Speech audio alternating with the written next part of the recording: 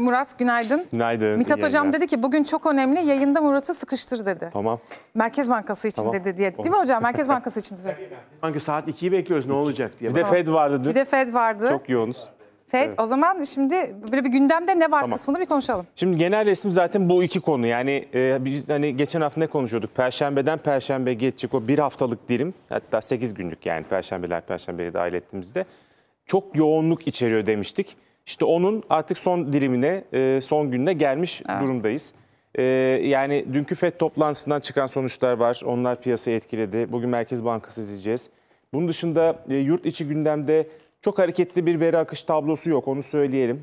Bir, tek haftalık yine bankacılık ist- istatistikleri var onu takip ediyoruz. Merkez Bankası tabii ki baş başına saat 2'de açıklayacağı faiz kararlı kritik. Dışarıda Euro bölgesinin e, enflasyon verileri var. Amerika'daki enflasyon verileri şu aralar biraz daha dikkat çekici tabii ki ama e, o tarafı da izliyoruz şu aşamada. Şimdi e, Fed'le başlayalım mı? Dün ben böyle bir baktım uzun uzun e, anlatıldı detaylı detaylı. E, gördüm yani e, Amerika'da. Ne, ne denildi peki? Ne oldu? Hangi mesaj geldi? Şimdi e, biliyorsun faiz değişikliği beklemi, beklenmiyor. Zaten olmadı. İşte e, varlık alım programı ayda 120 milyar dolara denk gelen varlıklardan alıyor Merkez Bankası Amerika'da. İşte Amerikan tahvilleri var, şirket tahvilleri var. Buralardan alıyor.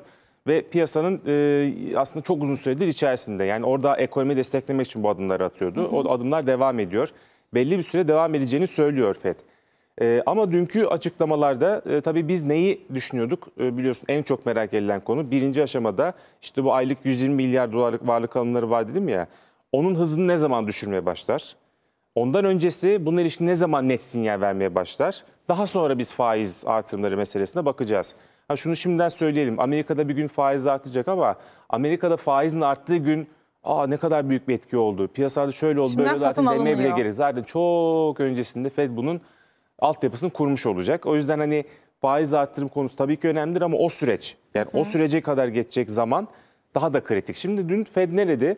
Ee, Fed'in açıklamalarında şunu gördük. Bir kere Fed Başkanı'nın e, konuşmalarından şunu anlıyoruz. Artık önümüzdeki dönemde yani bundan sonraki Fed toplantılarındaki ana unsur, konu işte varlık alımlarının azaltılması konusu olacak. E, Bunu değerlendirmeye net bir şekilde zaten başlamışlardı. Şimdi artık bunu daha çok dillendiriyor. Bunu konuşacağız diyor. E, işte yapılan tahminlerde işte enflasyondaki e, düzeltiyorum faizdeki artış beklentisine baktığımızda Fed tarafında 2023 yılına ilişkin beklentiler biraz daha yoğunlaştı. Fed yöneticileri isim vermeden hangi dönemde faiz artırım beklentisi ne olur e, bir aslında değerlenmede bulunuyorlar. Daha sonra bunun bir tablosu açıklanıyor. O tabloya baktığımızda biz şunu anlıyoruz. Evet Fed yöneticileri işte ağırlıklı olarak şu ayda, şu yılda, şu dönemde faizin şöyle olmasını bekliyordu. Bir genel kanıya varabiliyoruz. İşte o genel kanıda 2023 faiz artırım beklentisi biraz da artmış.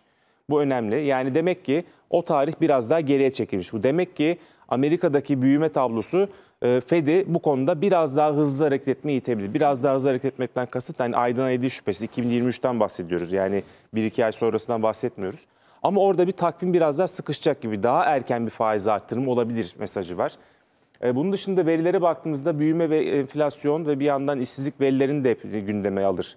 Bizim açımızdan önemli konu bir kere e, enflasyon beklentisini e, ciddi bir şekilde yükseltmiş. Yani bu yıl için 2,4'ten 3,4'e çıkarmış. Ama daha sonraki yıllar hep 2 civarında gidecek. Yani 2 üzerindeki enflasyona tamamız diyordu.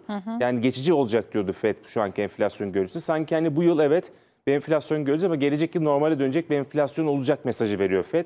Bu açıdan baktığımızda da hani çok erken bir faiz artırımına ihtiyaç yok e, mesajının altında yatan sebep de bu. Yani Geçtiğimiz yıla dair bir enflasyon zaman bu var sanki. enflasyon bize ne söylüyor? Hani Yüksek bir enflasyon.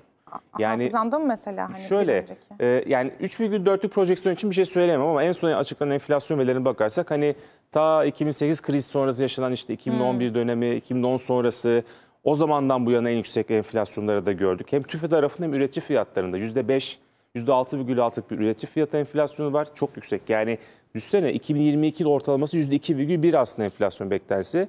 Sen en son ayda %5'lik bir tüfe aldın Amerika olarak. Üretici fiyatları 6,6 aldın. Yani şu anki tablo 2-3 katı. Amerika için bundan çok büyük oranlar. Sonuçta ama enflasyon tarafında bunun biraz geçici bir resim olacağı yönündeki beklenti var. Ee, tabii e, burada e, e, en önemli konulardan bir tanesi piyasanın bunu nasıl algıladığı konusu. İşte piyasa bu tarafa baktı. İstersen bir ekrana getirelim üzerine Önce konuşarak. piyasaya bakalım. Sonra Evet. ama Merkez Bankası'na ne kadar e, vaktimiz e, kalsın o? E, Tabii Hızlı tabii de- tabii tabii onu e, atlamayacağız ama hani Merkez Bankası öncesi piyasa nasıl bir e, tablo bürünü onu anlamamız Tamam. önemli. Dolar dünya değer kazandı. Bunun içeriye yansıması oldu mu oldu. Kur yükseldi. E, 8.65'e doğru yaklaştı. Euro 10.39 10.40 civarına kadar çıktı. Euro doların düşünden zaten anlıyoruz. Yani doların bir değerlenme süreci var. Mantık da şu. Yani e, eğer ülkede Amerika Birleşik Devletleri'nin daha doğrusu faiz artımı öne geliyorsa demek ki paranın oraya gitme ihtimali, Artıyor. dolara gitme ihtimali artıyor. Bu bizim için niye önemli? Sermaye akımları için önemli ama FED faiz kararlarını şunu unutmayalım. Türkiye'deki mevduatların yarısından fazla döviz cinsi. Sırf dolar değil, euro da var, altın da var. Ama altın desek zaten o da dolara bağlı hemen hemen. Önemli. Ons altın etkilendi. 1813 dolar. Peki. Ee, bu da e, yani e, ciddi bir düşüş aslında. Daha bir hafta öncesinde 1900 doların üzerindeydi. O yüzden e, ons altın bu e, haberlerin ardından bir gerileme geriledi. E, satış e, yönünde hareket oldu. Gram altın biraz 500 üzerinde kalmaya çalışıyor. O da kurun yükselişinden kaynaklı. E, Merkez Bankası tarafını istersen bakalım. Kaç Evet. dakikamız var? Hemen onu Bir başlayalım e, bakalım. Peki Vaktimiz var. hadi İki- gidelim gidelim. İki dakikamız var. Şöyle e, faiz %19 değişiklik dakikamız var. beklenmiyor. Tamam faiz değişikliği beklenmiyor. En son Merkez Bankası Başkanı Şahap Kavcıoğlu yatırımcılarla yapılan toplantıda görüşmede ileriki dönemde yani enflasyondaki bir düşüş görüntüsünün yılın 3. çeyreği sonu biraz daha 4. çeyreğin başı gibi oralarda görünebileceğine dair bir e, beklenti ortaya koymuştu. Önemliydi yani enflasyona Merkez Bankası hangi döneme özellikle bakacak diye. O yüzden yaz aylarında Merkez Bankası şu an faiz indirmesi pek de kolay değil. Yani yönlendirme de o şekilde zaten. Merkez Bankası söylemleri de öyle. Erken bir faiz indirimi beklentisinde kesinlikle piyasa girmemeli diyor. Bu da önemliydi. Yani Haziran toplantısı her ay bir toplantı yapacak Merkez Bankası. Yani Haziran, Temmuz buralar e, hani Temmuz'dan sonra biraz daha acaba faiz indirimi oldurmaya bakmaya başladım. O da enflasyon verilerine bağlı. En son Mayıs enflasyonu geldiğinde biraz düştüğünü gördük. Ama o da yarı yarıya bir kapanma dönemiydi. O dönemdeki enflasyon ne kadar sağlıklı? Biz Haziran ayına bakarak onu anlayacağız. Haziran verisini önce bir görelim. Gerçekten bir yavaşlama mı var yoksa tekrar yönünü yukarıya çevirecek mi onu izleyeceğiz.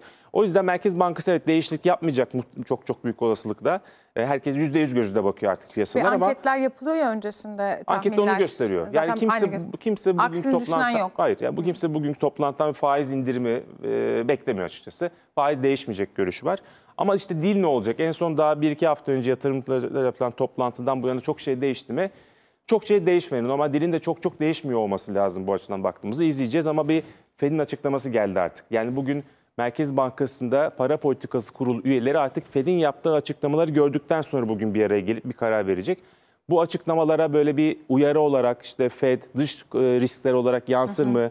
Bunları da takip ediyoruz tarafıyla belki biraz daha vurgulanır. Ama sonuçta faiz değişikliği beklentisi yok. E, Bugün e, Fed fiyatlaması ve Merkez Bankası bekleyişiyle e, yarı karışık diyelim. E, Biraz da zor bir gün bizi bekliyor. Hareketlilik açısından zor bir gün bizi bekliyor. Hareketli. Peki. Teşekkürler Murat. Rica ederim. Ee, saat kaçta açıklanıyor? 14. 14'te değil mi? açıklanacak, evet. 14, 14, Evet, 14. itibariyle ekranlarda Evet, görebilirsiniz. biz de canlı yayında olacağız, değerlendireceğiz. Peki.